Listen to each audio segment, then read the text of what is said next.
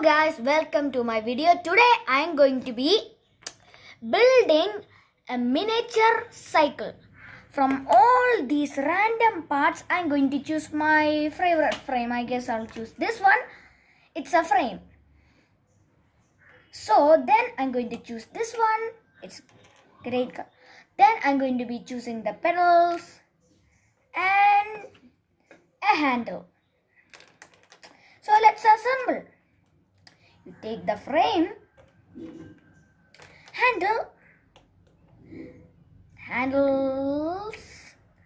Now I'm going to be placing the wheel.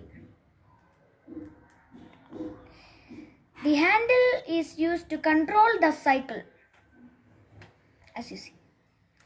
Then I'm going to assemble it to the frame. Going to be hard.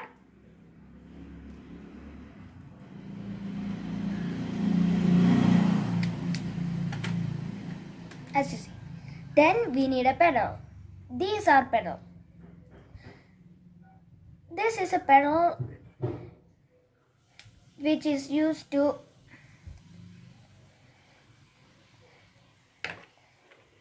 drive the cycle as you see and tan tan I got myself a miniature cycle. I'll do one more. Hmm what should I choose? I'll choose the blue one. I'm going to be choosing the green frame for this one a blue tire and an orange pedal. So as you see I do the same thing again.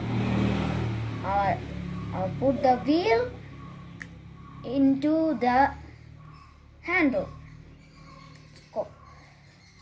The handle piece which is going to be connected to the main body of the cycle which is the frame. Now I'm going to assemble it to the frame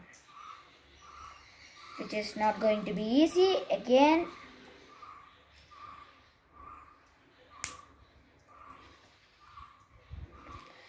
and I got another cycle. As you can see, you can make different types of cycles with different things. And uh, don't forget about the pedals.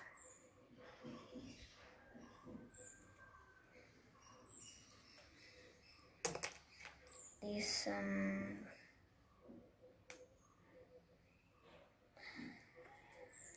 see, I got another cycle.